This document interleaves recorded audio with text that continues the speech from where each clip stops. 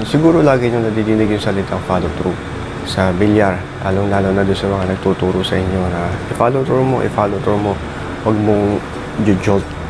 So, para mas paintindihan natin ang ah, follow through, kung ano ba ang importansya nito, uh, mayroon ako na-prepare na short clips ah, para mas ma-appreciate natin at mas magawa natin ang tama ang sinasabing follow through.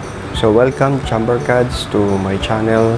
Ang episode natin ngayon ay regarding follow through. Tara na!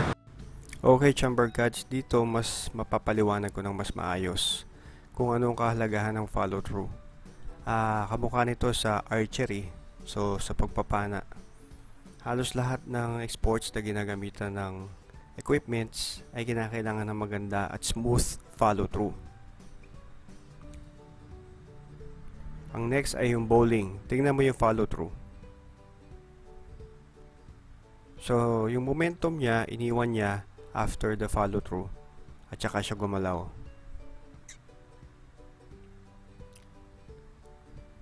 So, ganun din sa golf. Tingnan niyo yung follow through niya. So, parang binibitiw, binibitawan niya yung momentum. Hinahayaan niya mag-follow through at magkaroon ng smooth uh, transition yung follow dun sa bola.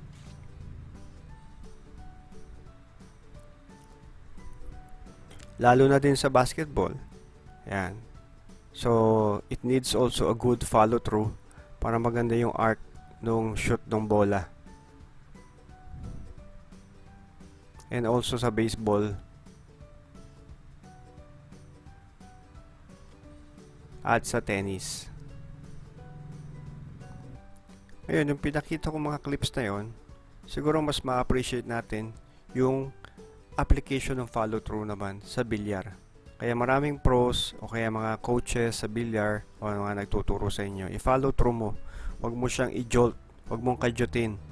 Pasunurin mo yung uh, inyong uh, tako doon sa pamato. Pero paano mo mag-start mag-practice ng magandang follow through? So given yung stance mo syempre, provided alam mo na yung proper stance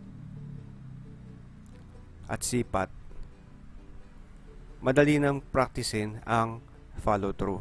So magumpisa ka maghanay ng mga bola nang walang pamato. Ikaw, it's up to you kung gaano mo katagal pa practicein to para lang ma-form yung habit. Kasi pag na-form na yung habit mo, automatic sa galaw mo, ando na yung follow through. So this is one classic example ng isang practice para ma-practice ang magandang follow through guys.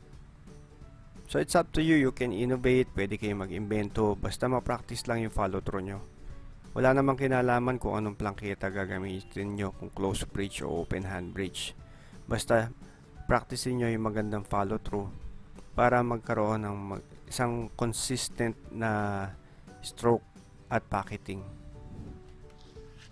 So ayan, alaman natin kung ano importansya ng follow through. Please don't forget to subscribe, like, and press the notification bell for more videos to come. And uh, sa tandaan, Chamber Cads, do not jolt, just follow through. Okay? Follow me, follow you, follow through.